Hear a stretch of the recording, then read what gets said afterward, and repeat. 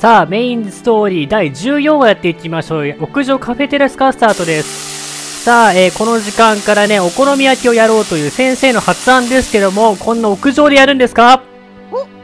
焼けたでー。みんな召し上がれさあ、宮古のお好み焼きができましたけども、いただきまお、ずんずん元気だね。すみんなうも、ん、みんなも、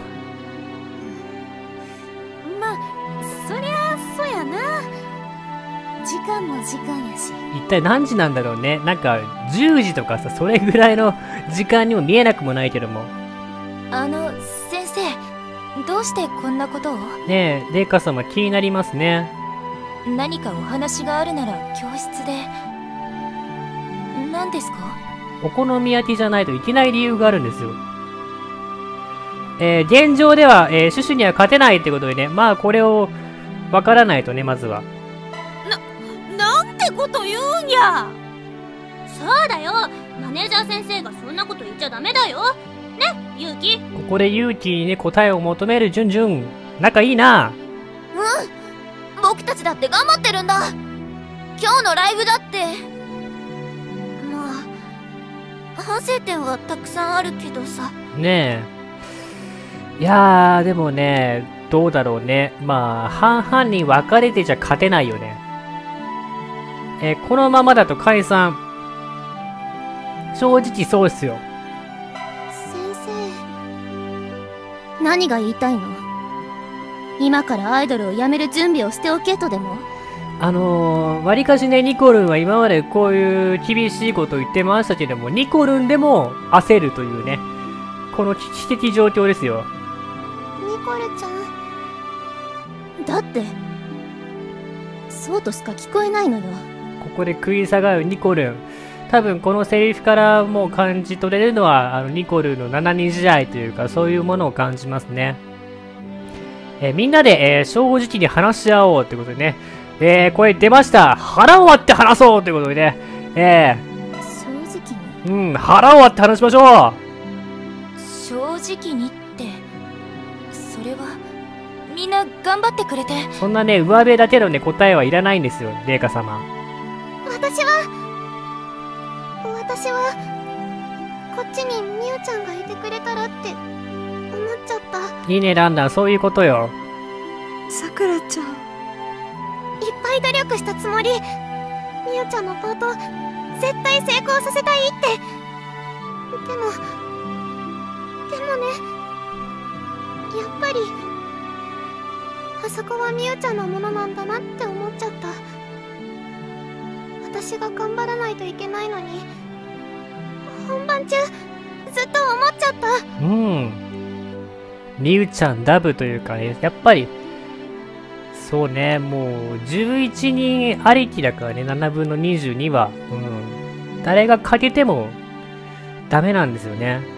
ダメだよね私弱いよねそんなことない。そんなことないさ、ランダン。私もみやこちゃんとさくらちゃんがいてくれたらってわ私じゃトークもうまくできなくてまあな、うん、ミーミーは、あの、口下手というかね、そういうおしゃべりするのは、ちょっと苦手ですからね。そりゃクリステルにはハードル高いだろうなあのー、あやかちゃんセクシーすぎる。こんなね、胸元がバンって開いて。下もね、そうね、アニメ第1話ですよ、これは。そうですね、こんな夜遅くにこんなかっこいい。大丈夫か、あやかちゃん？でもいなくなって気づいたの。みんなが必要だって。11人でいたいって。そうそそんなん言うたらやっぱりニコルンの不在はでかいなって思ったで。なあ。う。うん、エースですからね。うん。ツボ初めてわかったもん。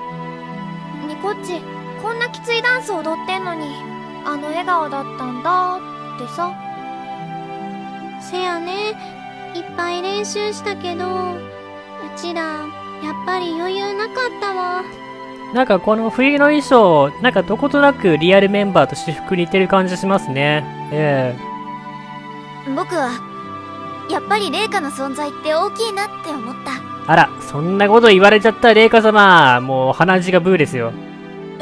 私？うん。リーダー不在だったからさ。僕がみんなをビシッとさせるんだって思ったけどできなかった。悔しいけどさ。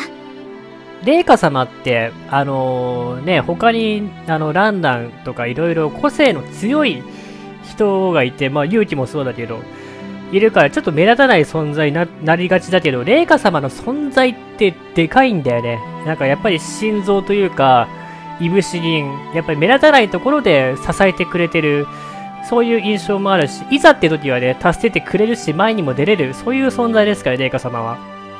私は AI も子供も必要だなって思ったなあら、あやかちゃんの口から、もう、あかねちゃんとね、ジュンジュンが必要だと。なんでなんで？こりゃ興味あるジュンジュン子供みたいにテンション高くはしゃげないし AI みたいにきっちりもできないうん。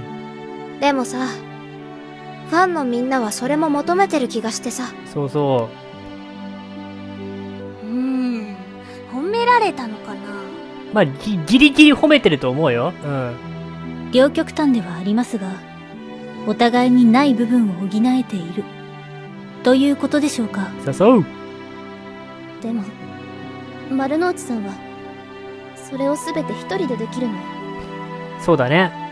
冷静でもありびっくりするぐらいの笑顔でファンを見たりトークのユーモアもあればダンスも歌も一切の隙がないうん。だからシュシュは強い私はそうなれなかったニコル私は、それでいいと思う。そうですね。僕もみゆちゃんの意見に同感ですね。どういうこと？どういうこと？私たち、丸の内さんのパフォーマンスを見て、みんなが丸の内さんみたいにできなきゃって思っちゃった。で、でも、うん。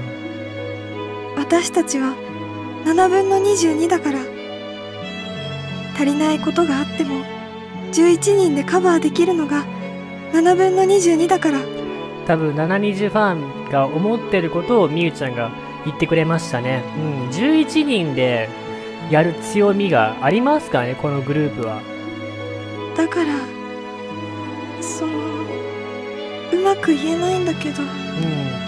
あの、2学期、勝ってますからね、一応。結果として。それがあるからこそ、それが強いと思うんだよね。もっと自信を持って、やればいいと思うんだけども。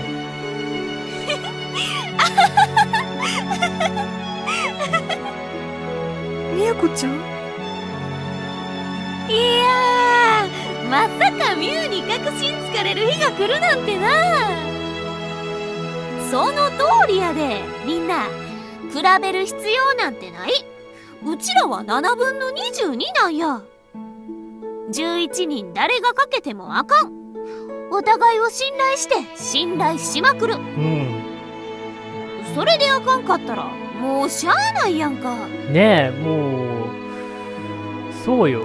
やれるだけのことをやって、もうダメだったら、もう仕方ないよ。その時はもう、諦めるというか、ね、そうなっても仕方ないんじゃないかと思うしかないね。でも、後悔はしたくないから、やりきるっていう気持ちは大事にしてほしいですね。そうだよ。そうだよね。みんなで一つまさにワンチーム。なんか元気が出てきたぞ。お、いいね。じゅんちゃん下何着てるのかな？どういうデザインのなんか T シャツ着てるのかな？ありがとう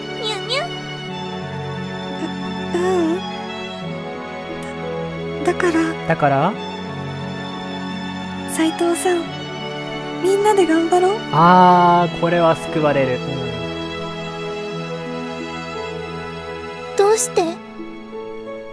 どうして私のこと助けてくれたの？これは小学校の時の回想ですね。壊れちゃう気がしてうん。この場面って本当に重要なんですね。えあのまま見過ごしてたら知らん顔して黙ってたら自分の大切なものが壊れちゃう気がして結構濃い関係だと思うんですよ。あの、そんなに言葉を交わさなかったと思うんですけど、なんでみゆちゃん覚えてねえのかなっていう不思議さはありますね。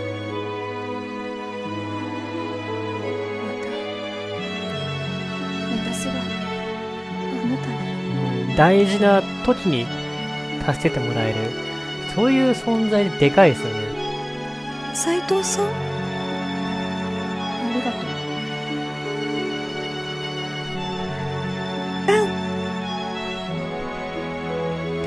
えー、レイカの背中を押す。さあ、レイカ様、最後、お願いします。そうですね先生ありがとうございますみんなこれからシュシュとの直接対決までレッスンし続けるわよ。えい。でも絶対に11人で練習しましょう。誰かに甘えたっていい。その分誰かを支えるの。11人で7分の22全てが終わるまでそれを絶対に忘れちゃダメだからね。うん。よし。それじゃあせっかくみやこが作ってくれたんだから。いただきます。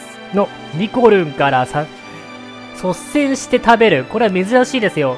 うわぁこれは世にも珍しい。エリザベスの一気食い。あらら、すごい。あずるい。